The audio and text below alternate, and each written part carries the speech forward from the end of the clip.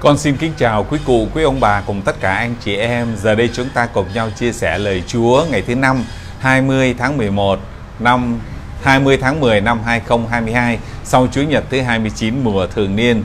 Chúng ta cùng lắng nghe lời Chúa. Tin mừng Đức Giêsu Kitô theo Thánh Luca. Khi ấy Đức Giêsu nói với các môn đệ rằng Thầy đã đến ném lửa vào mặt đất và Thầy những ước mong phải chi lửa ấy bùng lên. Thầy còn một phép lửa phải chịu và lòng Thầy khắc khoải biết bao cho đến khi việc này hoàn tất. Anh em tưởng rằng Thầy đến để đem để ban hòa bình cho trái đất sao? Thầy bảo cho anh em biết không phải thế đâu, nhưng là để đem sự chia rẽ.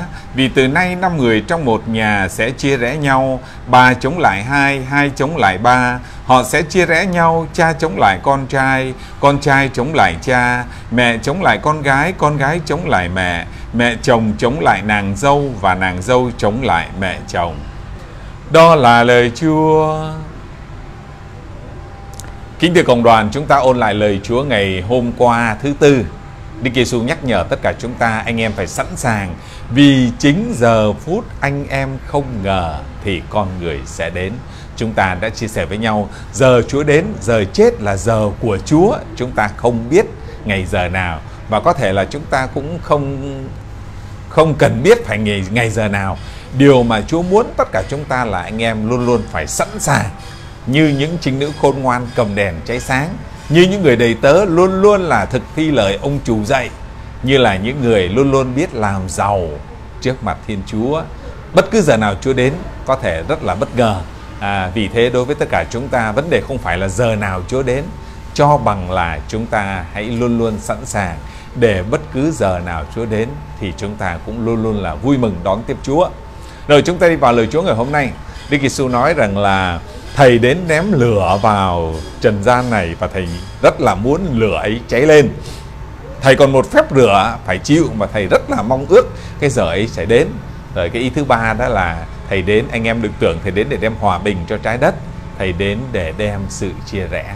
Thế thì chúng ta cũng sẽ chia sẻ với ba cái ý này trong bài tin mừng à, con xin được à, đọc để cho chúng ta thấy ba cái ý hết sức là rõ ràng. Ý thứ nhất khi ấy Đức Giêsu nói với các môn đệ rằng thầy đã đến ném lửa vào mặt đất và thầy những ước mong phải chi lửa ấy đã bùng lên. Chúa Giêsu mang lửa đến mặt đất và Chúa muốn lửa ấy bừng cháy lên. À, còn à, chúng ta nghĩ ngay đến lửa ấy chính là lời Thiên Chúa lời Thiên Chúa à, Đức Giêsu đến à, bất cứ nơi nào thì Đức Giêsu cũng rao giảng này Đức Giêsu chữa bệnh này Đức Giêsu trừ quỷ này. Đức Giêsu cầu nguyện cho à, ông bà cầu nguyện cho cho dân.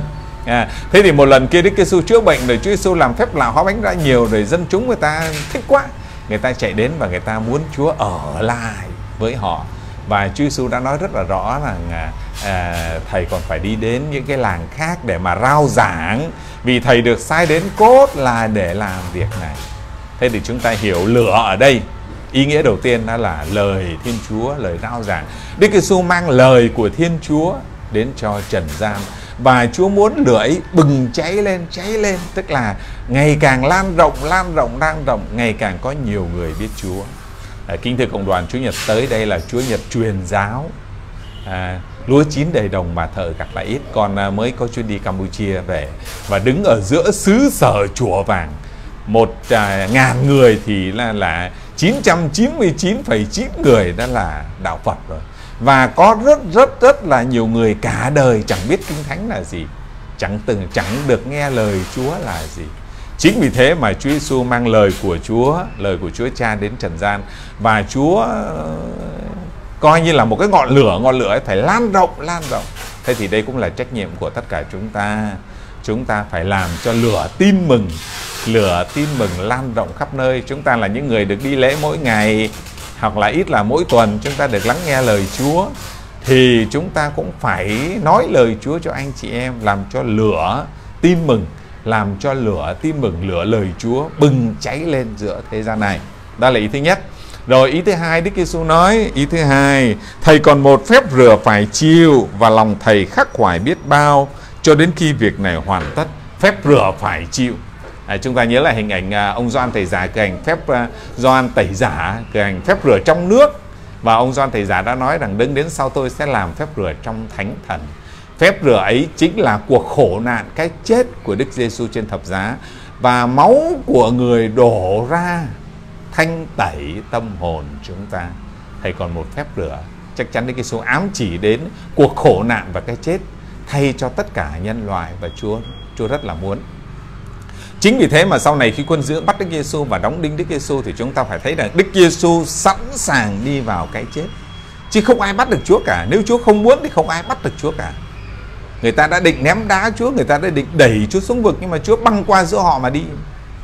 Nếu Chúa không muốn thì không ai có thể bắt được cả.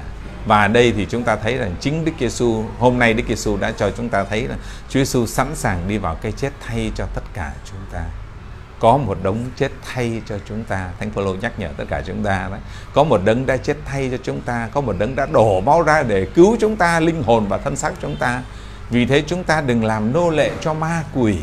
Đừng làm nô lệ cho ma quỷ. Đó là ý thứ hai. À, Đức Giêsu nói về phép rửa. Đức Giêsu sẽ phải chịu tức là cuộc khổ nạn và cái chết để mang lại ơn cứu độ cho tất cả chúng ta. À, chúng ta hết lòng tạ ơn Thiên Chúa vì Đức Giêsu đã chết thay cho tội lỗi tất cả chúng ta. Rồi ý thứ ba, à, ý thứ ba đây, à, anh chị ý thứ ba anh em tưởng rằng thầy đến để ban hòa bình cho trái đất sao? Thầy bảo cho anh em biết không phải thế đâu nhưng là để đem sự chia rẽ. Chúa Giêsu khẳng định là anh em đừng có nghĩ thầy đến để đem sự êm ấm sự hòa bình nhưng mà là đến đem sự chia rẽ.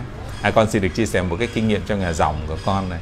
À, à cái năm mà cha giám tỉnh bề trên giám tỉnh của chúng con đi kinh lý thì đến một số cộng đoàn khi về nhà đúc kết lại thì là cha có nói một câu mà con cứ nhớ mãi.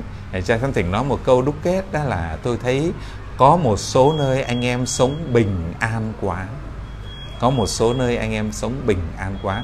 Với cái từ bình an này, nó cho thấy có cái gì đó là giống như là không còn nhiệt huyết, không còn lửa, không còn sự dấn thân, không còn thao thức, không còn ờ, khao khát cái gì cả.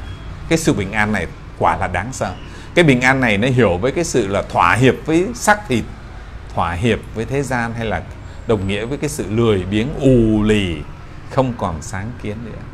Thế thì hôm nay Chúa Giêsu nói anh em đừng tưởng phải đến để đem sự bình an. Có lẽ cái sự bình an nó cũng là một cái gì đó nó gọi là yên ổn đó nhưng mà thầy đến để đem chia rẽ. Chính lời Chúa khi chúng ta đón nhận lời Chúa vào trong gia đình và trong tâm hồn của chúng ta thì lời Chúa có thể nói là nó nó, nó là một cái gì đó sao động sao động trong gia đình trong tâm hồn chúng ta. À, trong tháng mân côi kính đức mẹ thì con cũng à, mời gọi trong giáo xứ các gia đình à, cố gắng đọc kinh mân côi mỗi tối. Là cách đây mấy ngày có một chị đến một cha gia đình con lại xào xáo. Gia đình con lại xào xáo bảo gia đình con xào xáo về điều gì? Bảo chỉ vì cha nói đọc kinh mân côi mỗi tối thôi. Mà rồi gia đình đang coi tivi à, con nói đến giờ đọc kinh 7 giờ đọc kinh để các cháu còn đi học thế rồi vợ chồng cũng cãi nhau con cái cũng cãi nhau giận dỗi. Chồng bỏ đi qua nhà khác coi tivi à, ờ, con lớn thì bỏ vào trong phòng đóng cửa lại. Kính thưa cộng đoàn đây cũng là một cái điều cho chúng ta thấy đó. À, xào xáo. À, rồi à, trong mỗi chuyến đi Campuchia thì con cũng kêu gọi cộng đoàn gọi là chia sẻ với những gia đình nghèo bên Campuchia. Thì cũng có một người mẹ đấy góp mấy đồng đưa cho con. Thế nhưng mà về nhà rồi chồng cũng biết được rằng vợ mình lấy tiền đưa cho cha xứ. Rồi vợ chồng cũng lục đục cãi vã nhau lục đục cãi vã nhau. À, kính thưa cộng đoàn rồi cái chuyện mà tới giờ đi lễ tới giờ đọc kinh tới giờ cầu nguyện à, hay là tha thứ hay là không tha thứ vân vân và vân vân. Khi chúng ta đón nhận lời Chúa thì thật sự lời Chúa làm sao động tất cả trong đời sống của chúng ta. Và chỉ khi chúng ta thật sự đón nhận lời Chúa, tất cả những ai đón nhận lời Chúa thì mới là cái sự hiệp nhất trong Chúa. À, chúng ta lấy cái hình ảnh Đức Giêsu đóng đinh trên thập giá, dưới chân thập giá có Đức Mẹ, có Thánh Gioan, có bà Maria Magdala và một bà Maria nữa. Đây là những con người thật sự là hiệp nhất trong Chúa. Còn hiệp nhất mà không trong Chúa, hiệp nhất với thế gian thì Chúa sẽ phải gây cái sự rạn nứt hay là chia rẽ. Kính thưa quý ông bà và chị em cái ý thứ ba này cũng rất là hay. Lời Chúa khi chúng ta đón nhận vào tâm hồn thật sự làm gọi là, rung chuyển tâm hồn chúng ta hay là hay là chia rẽ rạn nứt trong gia đình của chúng ta. Những cái rạn nứt đấy không cần thiết. Để rồi chúng ta sẽ tiến tới một sự hiệp nhất mới trong Đức Giêsu trong Đức Giêsu chúng ta hết lòng tạ ơn Thiên Chúa à, với lời Chúa ngày hôm nay dạy dỗ chúng ta. Chúng ta nhớ nhé à, với ba cái ý rất là rõ ràng. Ý thứ nhất đó là thầy đến ném lửa vào trần gian và thầy rất là muốn lửa ấy bừng cháy lên. Thế thì chúng ta lời Chúa là lửa tin mừng là lửa. Chúng ta đón nhận tin mừng thì chúng ta cũng phải làm cho tin mừng ấy bừng cháy lên trong tâm hồn trong gia đình và trong anh chị em xung quanh chúng ta. Rồi ý thứ hai là, là thầy còn một phép rửa phải chịu và thầy rất là muốn thì chúng ta biết rằng là Đức Giêsu đã sẵn sàng đón nhận cái chết hay cho tất cả chúng ta và cái điều thứ ba nếu chúng ta đón nhận tin mừng thì tin mừng thật sự làm sao động rạn nứt hay là chia rẽ trong tâm hồn trong gia đình của chúng ta để chúng ta có thể tiến tới một cái sự hiệp nhất mới trong Đức Giêsu. Chúng ta hết lòng tạ ơn Thiên Chúa. À, xin Chúa chúc phúc lành cho tất cả chúng ta. À, kính thưa quý ông bà và anh chị em, chúng ta đang trong à, tháng Mân Côi Kính Đức Mẹ. Chúng ta cũng cố gắng đọc kinh Mân Côi mỗi ngày. Rồi chúng ta nếu có thể được chúng ta tập đi lễ mỗi ngày để lắng nghe lời Chúa mỗi ngày thì đây cũng là điều tốt. Quý ông bà và anh chị em lắng nghe sự chia sẻ của con mỗi ngày thì cũng là cái điều rất là tốt. Xin cho lời Chúa thấm nhập à, làm thay đổi à, tâm hồn của mỗi chúng ta và giúp cho chúng ta có khả năng à, có thể hiệp nhất được với Chúa trong một sự hiệp nhất mới trong Chúa. À, con xin à, kính chào và cảm ơn quý ông bà và anh chị em đã cùng chia sẻ lời với Chúa, lời Chúa với con trong ngày hôm nay.